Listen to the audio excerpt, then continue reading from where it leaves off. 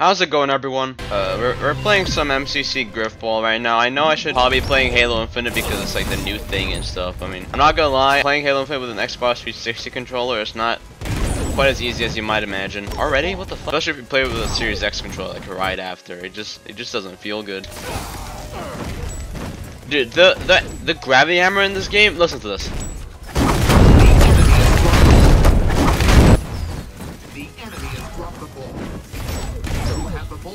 Alright, got the ball. Come on. Come on. Oh, that could have been bad. Oh, that was bad. That was awful. Okay, how do I throw the ball? I know for a fact there's a way to throw a ball. At least in Halo 2 Anniversary, there's a way to throw the ball. No, I'm not going your gravity hammer fight. Ew. Energy sword is definitely the, my favorite weapon for a ball. I mean, I guess I understand why gravity hammer is like the main weapon, but I don't know. I've always been more of an energy sword guy. Holy shit, is no one gonna kill this guy? Oh my god. He's still alive. Holy shit. Someone kill him.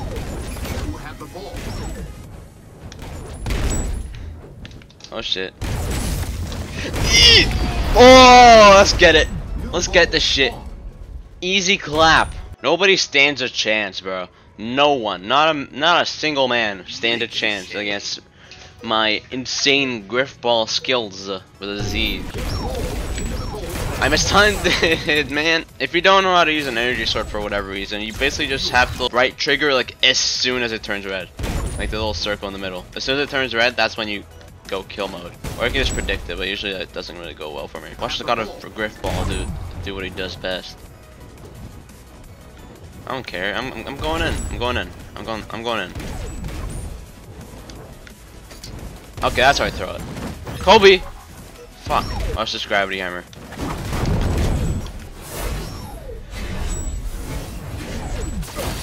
Was red! Bye. Easy clap. I'm just gonna try queuing for Halo 2 Anniversary, even though it's probably gonna take like forever to find a game. Imagine being this bad. Oh, there's three days until the Halo Infinite campaign drops. Why is it so hard to find a game now, dude? Last time I searched, it was only Halo 2 Anniversary and Halo 4. Now it's just Halo 4 and a bit of Halo 3. I wish they showed a player counter. I don't get why player counters have gone like completely obsolete. They just never show them anymore. There is no way I'm gonna find a game. I'm I'm selecting all of them again. Watch me find a game in like five minutes.